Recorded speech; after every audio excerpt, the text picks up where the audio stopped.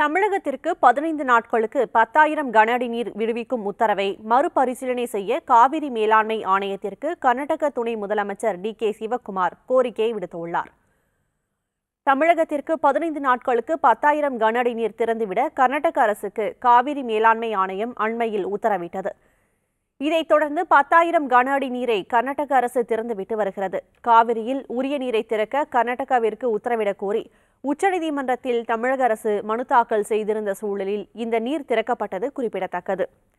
இந்நிலையில் பெங்களூருவில் செய்தியாளர்களை சந்தித்த கர்நாடக துணை முதலமைச்சர் டி கே சிவகுமார் தமிழகத்திற்கு பதினைந்து நாட்களுக்கு பத்தாயிரம் கன அடி நீர் திறக்கும் உத்தரவை மறுபரிசீலனை செய்யுமாறு காவிரி மேலாண்மை ஆணையத்திற்கு கோரிக்கை விடுத்துள்ளார்.